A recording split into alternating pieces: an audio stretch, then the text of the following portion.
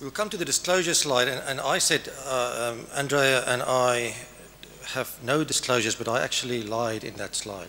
I do have a disclosure, and um, my disclosure is simply that I feel extremely privileged to be surrounded by physiotherapists. Nicole before, Andrea next to me, and Rod afterwards. And this is exactly how I've been practicing sports medicine for more than 10 years, 15 years, surrounded by physiotherapists. And I really want to acknowledge the physiotherapists and how much I have learned over the years from brilliant physiotherapists. So that's my disclosure. Um, and can I go to the objectives? So we will define femoral acetabular impingement syndrome, um, say a little bit about the morphology contributing to FAI syndrome, and understanding the relationship between CAM, morphology, and hip OA. So can I ask a question? Who, what is wrong with the title of our talk? Why is, why is the title of our talk outdated? And this is how fast things are moving in this field. The title of our talk is outdated. So, since going to press, shall I ask who, who wants to? Yeah, yeah, but why is the title out of date? So, what's wrong with our title? I haven't put the title up there. You have to look. No. No. Yes. So the title is Femoral Acetabular Impingement is Is Femoral Cam Deformity a Silent Hip OA Epidemic Happening? So we don't speak of deformity anymore, but morphology. So that's, that's um, uh, one take-home message done. So, and this, uh, this was actually in a newspaper in the UK on the day that we had the consensus meeting in Warwick two months ago. So there's an epidemic of hip and knee problems in, in, in um, in athletes doing uh, high intensity sport like sumo squatting and what they call um, uh, CrossFit. Uh, and that's led to, um, now I, have heard what CrossFit is and it sounds absolutely horrible, but in any case, the, the, um, but it's fantastic for us and it's fantastic for orthopedic surgeons because uh, since between 2002 and 2013, the amount of keyhole hip surgery has risen by 730%, increased by 730% in the UK, and I don't think it's too dissimilar in the United States. So there's an epidemic of femoral acetabular impingement syndrome in sport, also in hockey players and a number of others. So this was published in 2009, actually an interview with uh, uh, an orthopedic surgeon, Dr. Sierra, um, and it was published in the Journal of uh, the American Academy of Orthopedic Surgeons. And he says there that it's uncommon to meet an orthopedic surgeon who does not know about FAI. However, it's difficult to diagnose. But look on the right, Dr. Sierra explains that two treatment options exist for FAI open and arthroscopic surgery. So, can you guess what, what these red lines represent? Tears. So, so, and, and, and I Googled Dr. Sierra and he does exist. So it's in Minnesota. So there's a job to be done uh, by, and I'm sure um, he's changed his, his, his, mind about this. so um, a job to be done to educate. There's more than only surgery when we look at FAI. So that's, the, that's uh, an important message. So this is the Warwick Agreement on Femoral Acetabular Impingement Syndrome in an international consensus. And we got together two months ago, and this was a great meeting. Orthopedic surgeons, radiologists, sports physicians, physiotherapists, and the patient uh, sitting around a big table discussing and reaching consensus on a number of aspects around femoral acetabular impingement syndrome. The first thing is we added the, the syndrome aspect. Um, FAI syndrome is a motion-related clinical disorder of the hip and you have to have three things to diagnose it symptoms, clinical signs, and imaging. So that's not rocket science. That's more or less how we diagnose anything. And it represents symptomatic, and that's the key symptomatic premature contact between the proximal femur and the acetabulum. So, what are the symptoms? The, the motion, uh, the primary symptom is motion related hip or groin pain. So, pain is the primary symptom, but they can also have pain in the buttock, back, or the thigh, um, and might describe clicking, locking, stiffness, catching, um, uh, restricted range of motion, and a sense of, of giving way. What are the clinical signs of FAI syndrome? The diagnosis of FAI syndrome does not happen, uh, depend on a, on, on, a single clinical sign. But we know that hip impingement tests usually reproduce the patient's typical pain. But I have to say that the most common hip impingement test, the FADIR test, the flexion adduction internal rotation test, is sensitive but not specific. So that's an important message from this consensus uh, statement. Often there's also limited range of motion of the hip, and especially in internal rotation and inflection. And then finally about diagnostic imaging, the only diagnostic imaging necessary to make the diagnosis um, are x-rays. And um, I want to emphasize that. We don't need MRI scans, we don't need CT scans to make the diagnosis of FAI syndrome. So only an AP pelvis and a lateral femoral neck x-ray is what the consensus meeting agreed on. But cross-sectional imaging might be indicated if you want further information about the, the hip joint and if surgery is, is, um, is possible. So what's the termin terminology that we should use and should avoid? And I've alluded to that earlier. We should use the term FAI syndrome and not symptomatic or asymptomatic FAI. If it's symptomatic, it's FAI syndrome. We should avoid uh, deformity, abnormality, lesion when referring to CAM or pincer morphology, but use CAM morphology and pincer morphology. And I actually had to change the title of my systematic review on this as well um, after the, um, after the uh, consensus. This is a summary um, slide, and it's in the BJSM as well, published by the group also including treatment options, and I won't go into that. So emphasizing the clinic, the uh, history, clinical science and radiology, and um, the definition of FAI syndrome. So it's important to understand the bony hip morphology contributing to FAI syndrome, and there's basically two um, uh, distinct bony hip morphologies that can either be in isolation or in combination. Morphology is just the shape of the bone, and we really don't know if this is truly abnormal um, and uh, Andrea will go more into that later, because the prevalence of CAM morphology uh, is quite high in, in a number of uh, population. What is CAM morphology?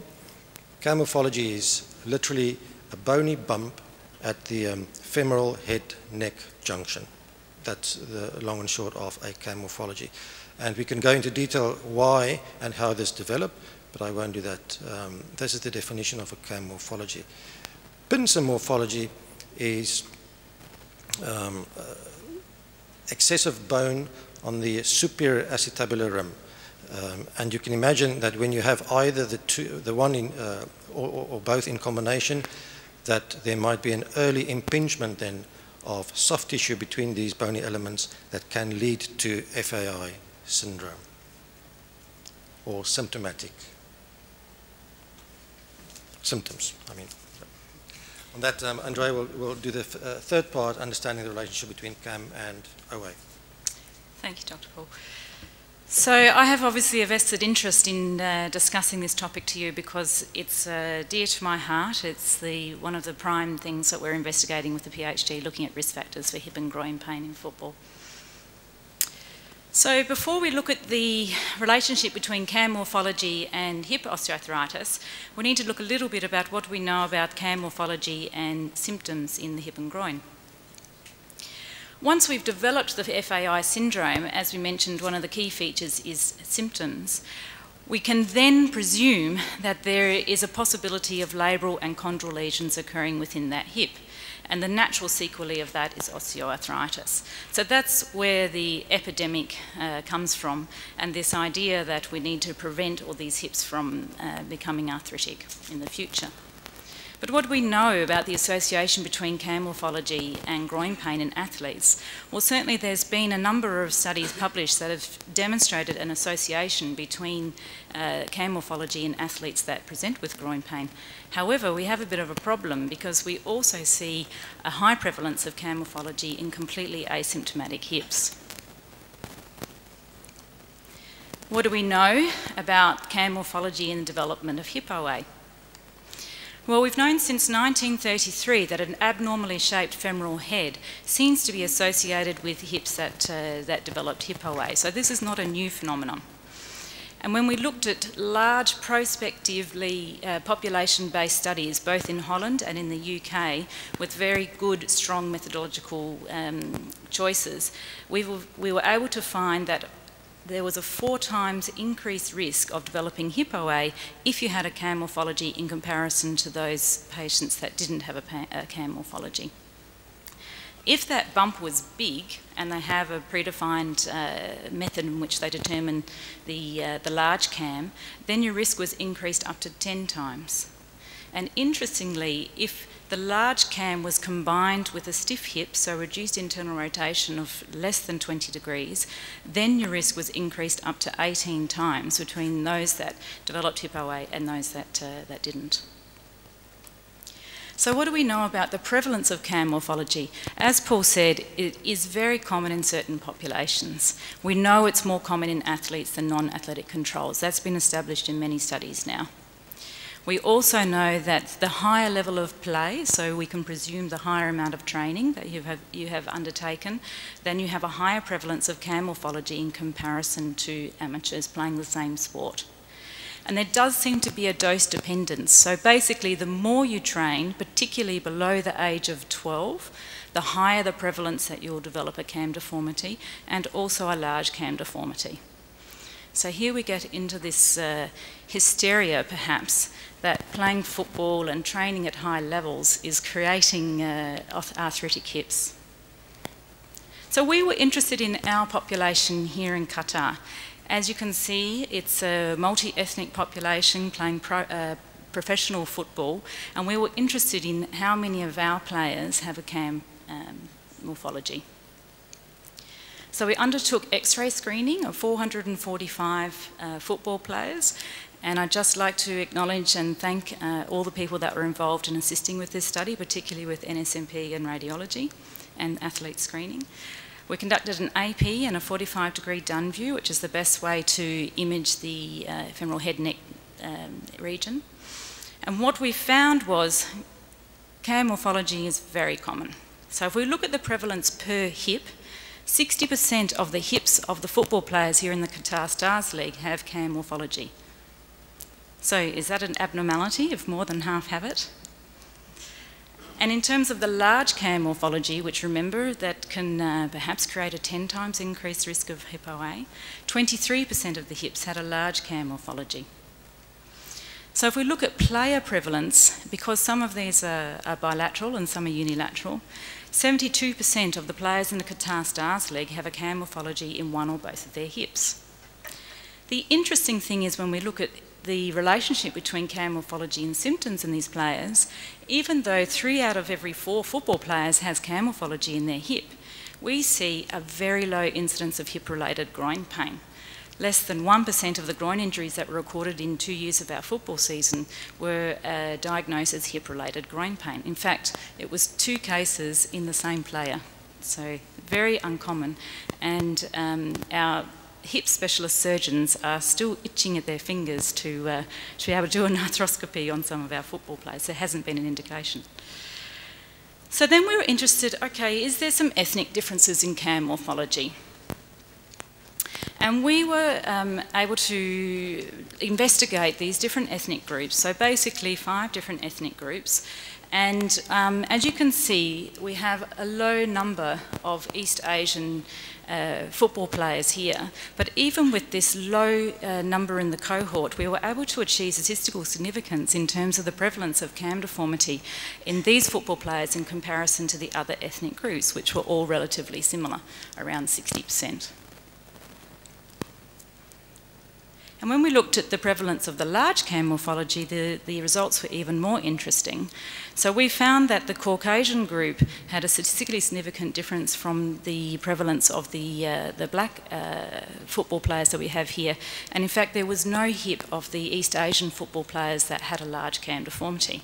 So we thought maybe this is uh, something of importance. So when we look at the um, ethnic differences in hip OA rates around the world, we wondered if our data perhaps correlated with some of this. And sure enough, we find that the rate of hip osteoarthritis is highest in Europe, predominantly Caucasian population. It's lowest in East Asia. And if you look at a country like the US, where there's mixed populations, we see this same disparity in the prevalence of hip OA. So highest in Caucasian um, people, the African American black population has a prevalence in the middle, and the East Asians in this country have the lowest rate of hip OA. So there may be some sort of ethnic difference in prevalence of hip OA rates. In terms of the Middle East, we don't have any large uh, registers here, so it's hard to know the exact prevalence. But some of the preliminary report, reports suggest that the prevalence of hip OA may also be lower here in the Middle East. So what explains this difference in prevalence? Well, it could be due to different activity levels in adolescence because we know that the CAM morphology is a, is a function of how much uh, uh, high impact loading we do during adolescence. But there could be many other explanations for why there is this ethnic difference. It may be related to cultural habits or it could be some sort of genetic or expression of genes. The interesting thing about our cohort is that it's likely they experience similar loads during adolescence. They've all reached a professional level of football. So the first, the most obvious reason why there, uh, there may be ethnic differences probably not applicable to our cohort. So the ethnic differences that we found do correspond with what we know about geographical differences in hip OA rates. And it's interesting that these differences existed despite the fact that it's likely all of these footballers had similar loading patterns during adolescence. So what does this mean? It brings up the nature versus nurture debate. Is hip OA something that you're born and will naturally uh, uh, are destined to have? Is it something that's acquired through your sport or through your through your habits or culture, or is it something a combination of, of the two, which most likely, uh, like everything in life, it is. So it may be that there are genetic differences in how the femur responds to the loading that's a, that, that, they, that it is, uh, is provided to it during adolescence. It could be that some ethnicities are protected from developing CAM morphology even if they have the same load as, their, um, as, as, as, as the player next to them. It also may be that some ethnicities, even if they do develop CAM morphology, there may be something that protects them from developing femoroacetabular impingement syndrome and maybe even OA. We don't know the answers to these questions yet, but hopefully with longitudinal research, uh, particularly the study that uh, Dr. Paul Dijkstra is going to be heading, looking at de development of hip abnormalities in athletes here at, uh, at Aspetar and Aspire, and we need to further elucidate this relationship between the CAM morphology, hip and groin pain while playing sport, and long-term hip OA. And eventually it would be lovely to develop some sort of injury prevention program that can perhaps uh, stop this progression of CAM morphology, uh, symptomatic uh, femoroacetabular impingement syndrome and hip OA, if it's possible. So the take-home messages for our talk, we would really encourage everyone to adopt the, this new terminology of femoroacetabular impingement syndrome with the three characteristics of symptoms, signs and imaging. Femoroacetabular impingement syndrome cannot be diagnosed on imaging alone. As you can clearly see from our data, the morphology is more common than not in, uh, in certain populations. We have this high prevalence of CAM morphology in the Qatar Stars League and there was ethnic differences in prevalence determined in our cohort. So are we sitting on a silent OA epidemic? We'll have to wait and see, but my gut feeling is our football players will all end up like this fellow, happily playing football without, uh, without any sign of hip OA. Eh? Thank you.